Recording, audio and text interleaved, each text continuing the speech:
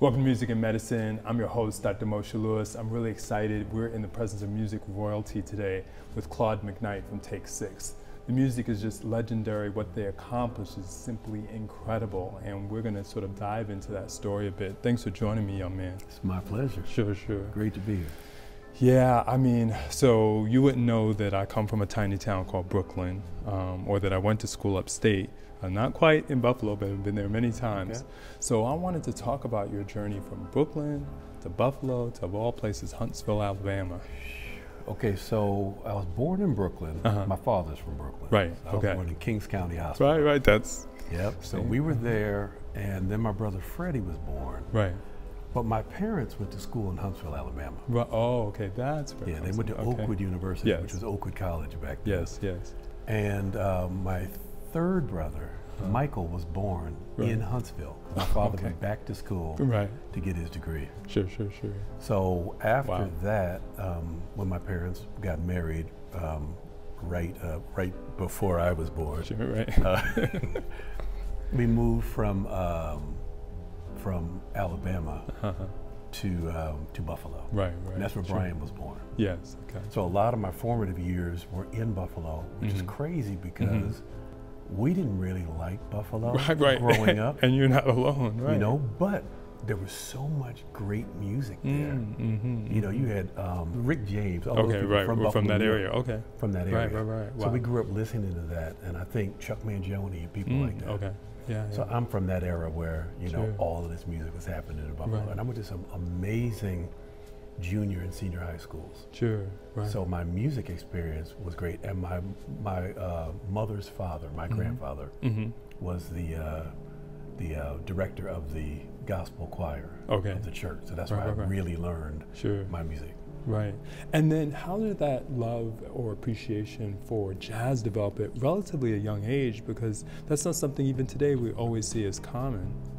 So I think what really happened was, growing up, um, we come from the Seventh Day Adventist Church. Okay. It's a very conservative Yes. religion. Yes. So there wasn't a lot of rhythm and stuff going on, but there was Sure. tons of harmony. Okay.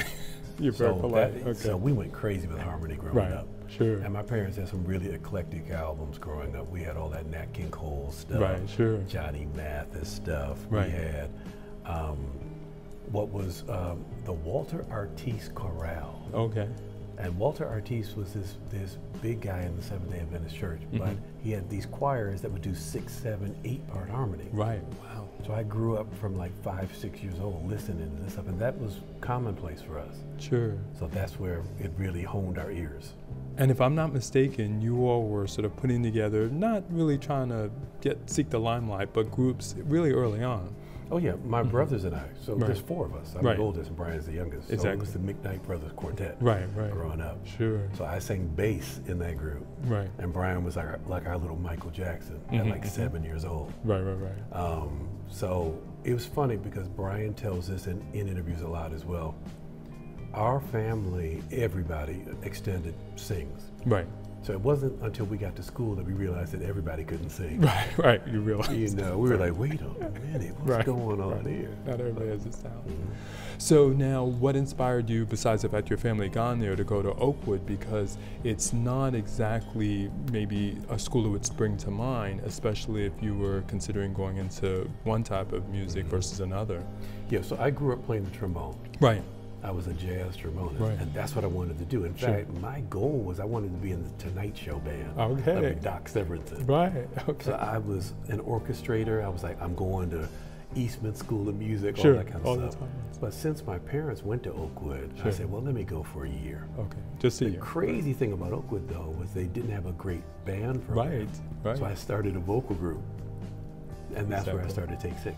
sure. So apparently, that's it was meant to be. Right, and that wasn't something uncommon there as well. You had Right. lots of vocal groups there, Mhm. and so um, what sort of gave you all that special panache or bond or Okay. feeling? Hey, we need to work together. Yeah. So when I was a freshman, I started a quartet, right, basically barbershop doo-wop style stuff. Yeah. And there were, like you said, a ton of other groups there that did that kind of stuff. So because I had that background in easy listening music and Yes. jazz music, yeah, I ran into a gentleman named Mark Kibble. okay, And Mark came into the large bathroom where we were rehearsing one day. and added a fifth part to what we were doing. We were like, yo, what is this? right. And then we got one more person because Sure. I, Mark had this uncanny ability of creating vocal arrangements that sounded like big band music. Yes. Interesting. And so that differentiated us from all the other groups because nobody Right. was doing what we were doing. Sure. And wasn't it also pretty unique to even have six people Yes. performing? Yeah, because there were tons of trios Mm-hmm. and quartets and, of course, choirs. I don't think there were any other sextets on campus, not at that time. Right. And how did that give you all more range in terms of the types of things you could do because you had more members?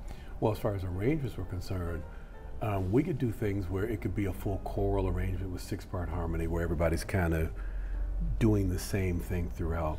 Or we could have a walking bass line Sure. and three parts, and then, you know, another person singing the lead or whatever. Sure, So there were right. all kinds of different combinations we could do with six that we couldn't do with five, and certainly not four. Sure. You also appear very modest, and it doesn't seem like you were seeking the limelight. How did this whole showcase get put together that kind of really catapulted you So into you, you've, outer done your, space? you've done your homework. Yeah, yeah, yeah. Okay. So we um, had basically just graduated out of Oakwood, Right. and we reached out to uh, a woman named Gail Hamilton Mm-hmm. who lived in Nashville, and Okay. we said, uh, we'd like to try to pursue this. Can you put a showcase together? We didn't even Right. know what a showcase was. Sure. Right. Right. And what is a showcase? Just for It's those 'cause it's an basically industry term. Where you send out all these invitations Okay. to industry people for a show that you're going to do. Right. It's free. If Sure. they show up, they do. If they Right. don't, well, you're doing Sure. a show for nobody. right. Exactly. Do it anyway. And we probably had five people there. Right. And in fact, interestingly enough, at one point we probably had about 10. Mm-hmm. And right before the show, some of the Christian record Mm. labels are like, Right. yeah, no, we're not going to Sure. stay. Right, And we were like, um, Right. Why are they leaving? okay. But then Sure. unbeknownst to us, Uh-huh. the vice president of Warner Brothers Records in Nashville Right. came to that showcase, Sure. listened, and right after we sang, he said, I love what you guys do. I have no clue what we'll do with it, Sure. but I would like to sign you. And so the next day we signed, and 21 days later we were in the studio. Right. And I want to tease that out because how would you even uh, characterize the music at that time? Because it really wasn't R&B per se, which was so, sort of a lot more common in terms of people signing urban groups.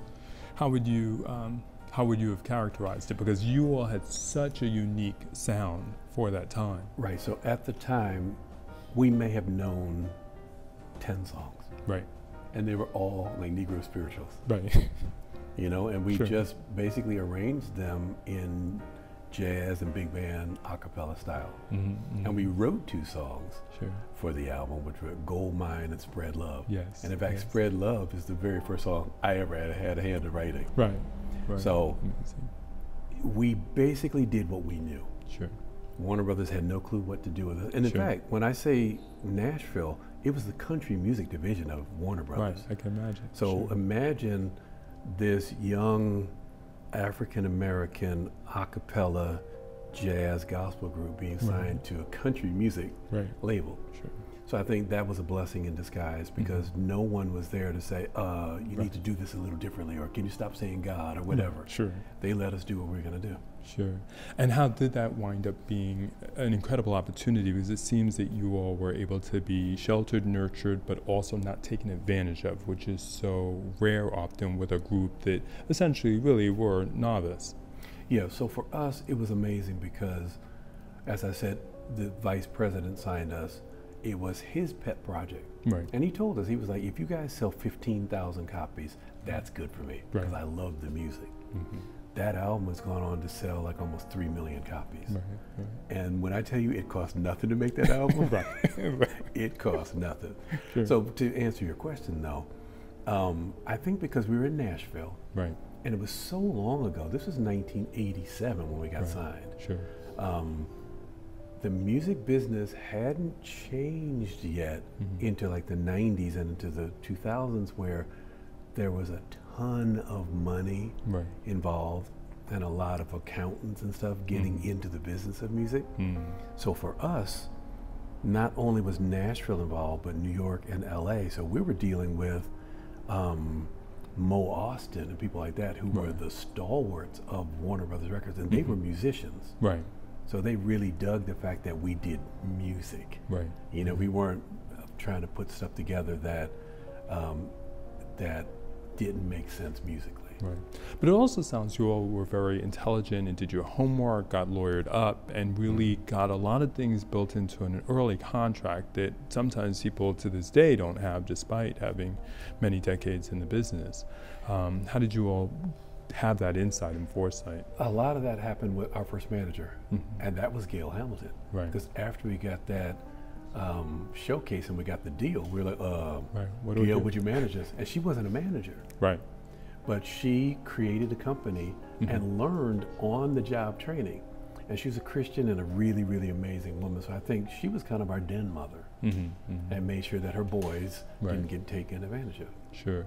How did that create unique experiences for other groups that kind of followed in your wake? Well, you know, we've heard over time, Mhm. you know, there were groups who who listened to us, you know, people like Boyz II Men and people Yes. like that. Right. Um, how true that is, I don't know. You Sure. know, I, I sat next to Usher Sure. on a plane, and he talked about how our music was really influential to him. Sure. And you don't know these things No. when you're doing it. Right. You know what I mean? We ran into Alice Cooper Sure. one time Oh, wow. Okay. in in um, in uh, Poland, sure. of all right. places, and he's Right. singing "Oh Mary, Don't You Weep." so you don't know Mm. um, the the breadth and the scope of what what your career is doing until other people tell you. sure. You're just trying to make sure you do what makes sense to you. Yeah. So on that note and teasing that out, what was that secret sauce and formula? Not only that kept you all together, but made the music work when it was so unique. Um, I think, quite honestly, the fact that we have a common denominator, and that Mm. is actually loving the Lord. Right. You know, and we've had to learn what that actually means. Because I can say that, Sure. and it can mean a lot of different things depending on what experience you're having at any given moment. Hmm But since we've been in this now for what, 35, 36 years, and we're extremely transparent with one another. Sure. So we've gone through marriages, divorces, births, deaths, Sure. you know, all manner of stuff. So we are family. hmm I think that's what keeps us together is that we actually respect each other. Even the Sure. times we don't like each other. Sure. It's hard to keep a group together, Right. Even when you love each other. Sure. Right. So imagine, you know, so we've been through some stuff, but because we respect each other and that common denominator is there, it, it keeps us together. Right. Aretha sang about that song Respect, but I want to tease that out even more. What does it really mean in terms of what somebody is bringing to the group, um, if somebody's writing, somebody's producing, and things like that, and really basically allowing everybody to have a voice regardless of their technical contributions? So that's a great question. I think what's what has been important for us is no one person in this group is more important than any other. Even though, to be honest with you, Mark Kibble is the sound of the group, Right. his personality is such that he doesn't impose his will on any of us. Sure. Even when I want him to, I'm like, Mark, come Right. on, man. You know? So I think we are such a democracy Mhm. that we're able to lift each other up in many ways, not just musically, but spiritually, emotionally, financially, even. You know, we make sure that everybody is feeling important in this. Because if you have a spoke in your wheel Right. that is broken, the wheel can't roll. Right. You know, so I think that's what's so important in this group. Some people would even go so far as to say that the industry often seems to pick someone out of a Mhm. group and put them on a pedestal, and then Mm. that starts to create tension, whether it's a family that was together or not. Um, how do you all think you were able to avoid some of that? Probably the honest answer to that is we were so young and naive Mhm. at what we were doing. We got an, an incredible amount of success early. Right. But the success was in the fact that this group was so unique that I don't think anybody was able to say, well, as unique as you are, we need to pick this guy out of here Right, and do whatever. Right. People had no clue what we were doing, Sure. to be honest with Sure. you. Sure. And I think that that was good for us and it was good for the industry as well, Sure. you know? You said that the young man that signed you had no greater expectations than 15,000 sales. How did it feel to win Grammys, first out of the gate? It was crazy because that first album was nominated for three Grammys. Right. We won two. Two. And three of the guys were still in school. And that was like finals week right. when we're winning Grammys. You know, so it was hilarious. And our career took off so quickly quickly that we didn't really have a chance to sit down and, you know, marinate in this. Sure. Right. You know, because even to this day, it's not like we are um, a group that is hugely successful um, as far as number of albums sold. I think we're Right. more critically mm-hmm. successful, Right. and most people know of us, like especially in the music business itself. Right. So I think that also is a buffer for us, that we're more loved within the community, Sure. and I think people know who we are, but there are a lot bigger groups as far as album sales and notoriety. So, so I think that has Sure. kept our heads in, in, in shape as well. Sure. When you're on the road and touring, you mentioned Poland and going overseas. What is that experience like now? Um, and sort of receiving that uh, love from the fans and things like that who have stuck with you um, through all the years and maybe coming to know you even. So w- what we found is that especially being a vocal group and primarily an a cappella group, we get a lot of our energy from the audience. Yes. You know, we have what we have on stage, but what they give back to us makes everything just l- rise to another level. Sure. So early in our career, it was interesting because we didn't know how to handle that, Sure. you know, and you might be in Italy in a place where they don't really speak English very well, Right. and you're not getting the love you think Right. you're supposed to get, Sure. and then the song is over and they go crazy, and you're like, Right. oh, I guess we were getting it, Right. you know. So you have to find a balance Mhm. to what makes sense for you to to uh, to do what you do. Sure. Besides touring, and I know you and I were, you were so kind to stay in touch and things like that, despite a, a complex tour schedule. What things are keeping you busy now, and what things you look forward to? So we are in the midst of working on a straight ahead jazz album. Okay. This would be the first one of those, even though people associate Take Six with being a jazz group. Sure. I don't know what you would call us. We're a vocal group that um, does spiritually based music. Right. That is, you know, extended jazz type chords. Right. But we're doing songs like Giant Steps and God Bless the Child and and Rhapsody in Blue. I mean, some serious jazz Yes. classics. Yes. So we're in the midst of that now. And we also have been farming out some of the arrangements to other people, which is a first for us as well. Gotcha. No, it's it's it's amazing. Um, our show is called Music and Medicine. When you hear those words, how does that speak to you? So it's interesting because I think that music is medicine. Mm-hmm. You know, it absolutely is. I think it's the one thing that any person can go back in time and remember where they were, how they were feeling, Yes. what something smelled like, what something tasted like, based on a certain song. Right. you know, and songs can lift you. The chords within that song can lift you. Obviously, the lyrics play a, um, a big um, role in that. But music is so scientific Yes. and emotional Exactly. and um, physiological. Sure. All at the same All time. that is medicine. Right. Yeah. No, you're right. I mean, Mhm. That's a great way of putting it. Um, where can we find you and uh, try to catch up with your schedule and things like that? So Take Six, you can find us at uh, on Facebook at you know Take Six Official. sure. You can find us at take6.com. Um, uh, Take Six Official on Twitter and Instagram, and me personally, Sure. uh, anywhere you see Claude McKnight. Sure. Yeah, that's on Facebook. Right. That's on Instagram. That's on. I do a lot of stuff on TikTok for some reason. Okay. Hey, A lot of stuff. taking I get a lot of love over there. Sure. Good, good, good. Um, and also, uh, I, I'm a vocal coach, sure. and I have a program out called uh, Building Blocks of the Song Stylist. Nice. So people can reach me there. Speaking of um, teaching and mentoring, what is that advice you'd give to young groups that are starting out, um, given that, like you said, the landscape of music has gotten so much more complex in terms of trying to stay together and trying to navigate the business of music? So because it's so complex and everybody can get out there and do some kind of music now, Right. I would say be unique. Right. Find what is unique about you and lean into that. Because when you become too homogenous or sounding like somebody else, you get lost in the shuffle. Mhm. And specifically with groups, I think what's really important, depending on how many people you have, you always want to have somebody in that group who is so recognizable vocally that anytime that group is heard, people know it's that group. Mm. You know, I think the Temptations had that really well. Right, right.